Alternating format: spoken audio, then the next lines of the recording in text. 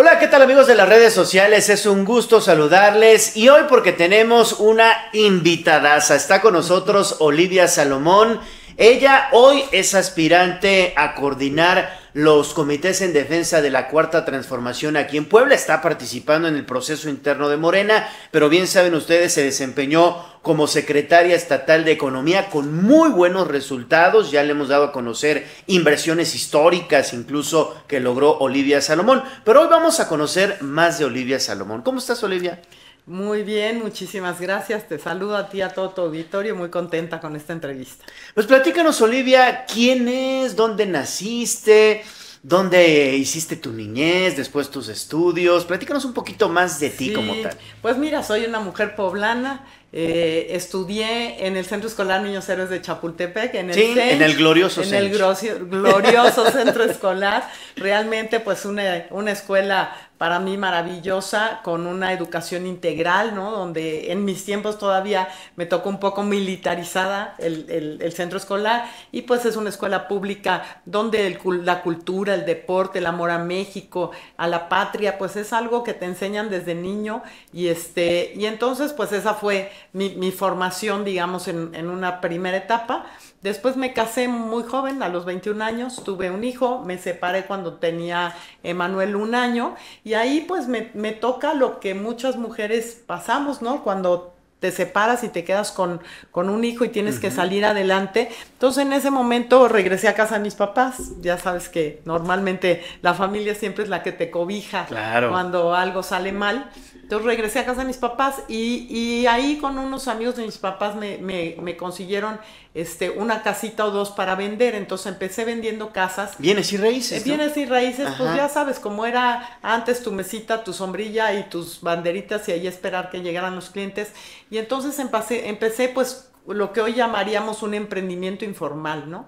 Eh, vendiendo estas casas y ahí a través de, de, la profesionalización, por eso yo he sido muy insistente en que debemos profesionalizarnos, no importa el giro en el que estés, seas productor, artesano, artista, gráfico, comunicador, este, no, al final necesitas en la vida volverte un profesional y, y, y que esas herramientas que te van dando desde la informalidad son las que te pueden permitir convertirte después en una empresa y expandir tu negocio.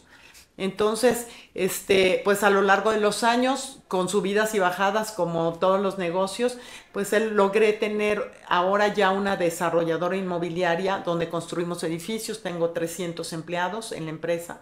Entonces, pues es una historia de lucha y de mucho esfuerzo como la de muchos pues poblanas y poblanas y esa ha sido este pues pues una, una de, de mis principales metas cuando llegué a la Secretaría de Economía es cómo apoyábamos a los micro, pequeños y medianos empresarios, a los emprendedores y emprendedoras para que puedan realmente tener un futuro mucho más seguro en materia económica. Entonces, pues eso, eso es en, en la parte profesional. Después me volví a casar eh, con, con, el contador, al que, al que muchos quieren y, recuerdan, el contador Rafael Moreno Valle Sánchez, quien tuvo el béisbol, el fútbol, nosotros tuvimos, este, estuve como parte del patronato del, del Club de Béisbol Pericos de Puebla de 2005 a 2010, fuimos campeones dos veces de la zona sur, así es que para mí mis pericos son lo máximo. Y entonces él tenía cinco hijos, yo tenía a Emanuel y juntos tuvimos un hijo que hoy tiene 24 años, Javier. Entonces tengo siete hijos, 14 nietos y dos bisnietos. Oye, muy bien. Así es, así es. Entonces somos una gran familia. Como bien recuerdas, Rafa falleció durante la pandemia y entonces pues eso fue un momento muy duro, era yo secretaria de Economía, estábamos pasando por la crisis de salud, aún no había vacunas, él murió en noviembre y la vacuna salió en enero, en febrero, así es que fueron tiempos muy difíciles, había que mantenerse pues con la fortaleza de, de, dar seguridad a tanta gente que estaba pasando tanto por pérdidas de familiares como por el cierre de sus negocios, la pérdida de los trabajos. Entonces creo que, que, esa etapa tan dura en la que hubo mucha cercanía con las poblanas y los poblanos, pues me permite entender exactamente, pues, pues es ¿no? Lo, lo, que somos los ciudadanos, ¿no? No, no, en mi caso, pues no, no soy política, soy una ciudadana sí. que aceptó eh, trabajar para servir y estoy muy contenta haciéndolos. Creo que es obligación de los ciudadanos que participemos cuando se da la oportunidad en, en, esto, en estas políticas, porque de esa manera es como podemos influir y podemos exigir que un político no venga y solamente llegue al puesto y se siente en la silla, sino que haya resultados, que haya trabajo de por medio, que pensemos en, en, los demás y conocer mi estado, ¿no? Conozco todo mi estado, las vocaciones productivas, hemos estado cerca de artesanos, productores, profesionalizándolos también. Así es que, pues es, es mi aspiración y estoy muy contenta con, con, todo esto. Oye, me voy a regresar algunos años atrás ¿Cómo, ¿Cómo, eras en la niñez? ¿Eras traviesa? ¿Qué te gustaba hacer? ¿Qué te pues, gustaba pues jugar? Pues fíjate que siempre, yo creo que siempre fui una niña seria. Se me hace, me parece, ¿no? Eh, somos cinco hermanos, entonces, bueno, ya de por sí, este, pues es una guerra cuando eres una familia grande, ¿no? Porque los chiquitos, los grandes.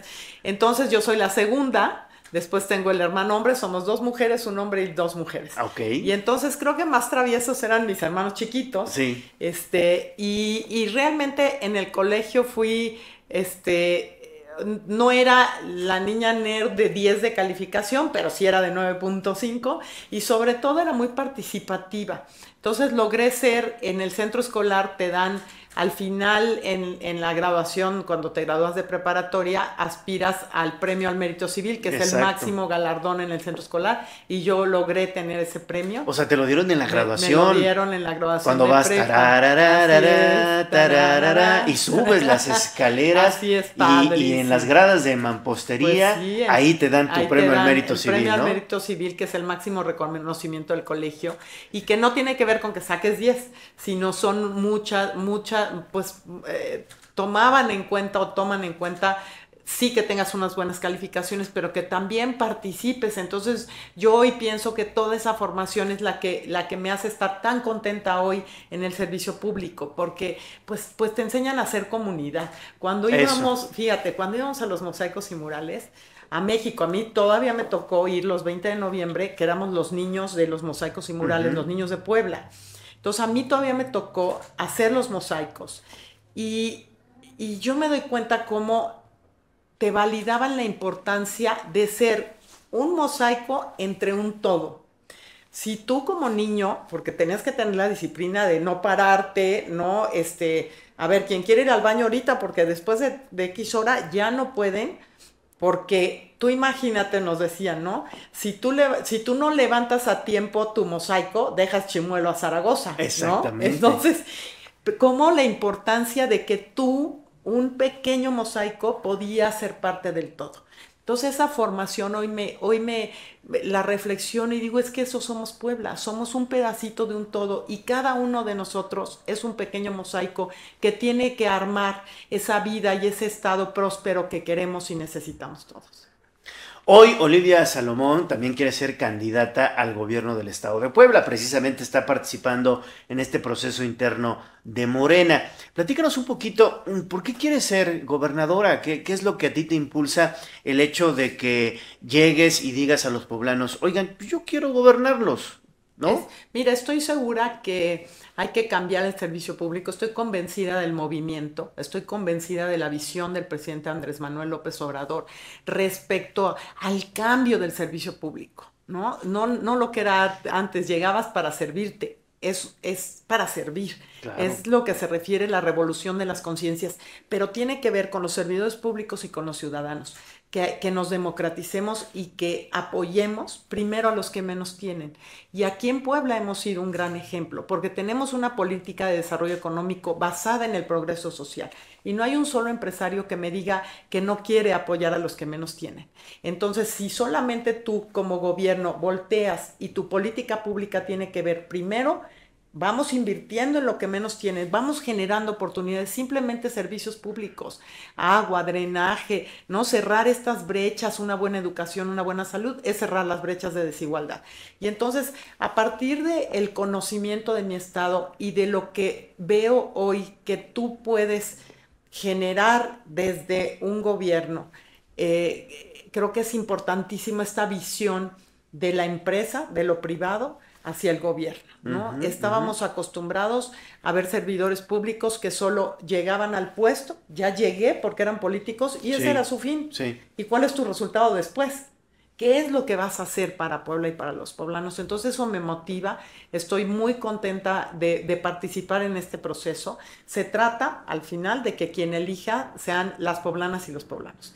Entonces creo yo que mi perfil, que es un perfil que ha vivido lo que viven todos, cómo pagamos la luz, cómo pagamos la renta, cómo pagamos la nómina, cómo hacemos para vender más, pues eso es un perfil que hoy desde el gobierno puede aportar mucho y que me van a apoyar porque pues esto se trata de que elijan al final pues el pueblo, la ciudadana, los las poblanas y los poblanos. Muy bien, pues Olivia Salomón, gracias por brindarnos un poquito de más detalle en torno a tu vida, a tu vida personal, por supuesto, y pues te deseamos mucho éxito en esta, pues en esta participación que estás teniendo en el proceso interno. Pues muchísimas gracias, estoy a sus órdenes, soy Olivia Salomón, en mis redes sociales, ahí me pueden seguir, este, pues ver lo que, lo que estamos haciendo, conocer un, poco más de quién es Olivia Salomón y estoy siempre atenta, atenta a, las ciudadanas y los ciudadanos. Gracias, Olivia, mucho, mucho éxito, ¿eh? Muchísimas gracias. Gracias. Gracias, amigos.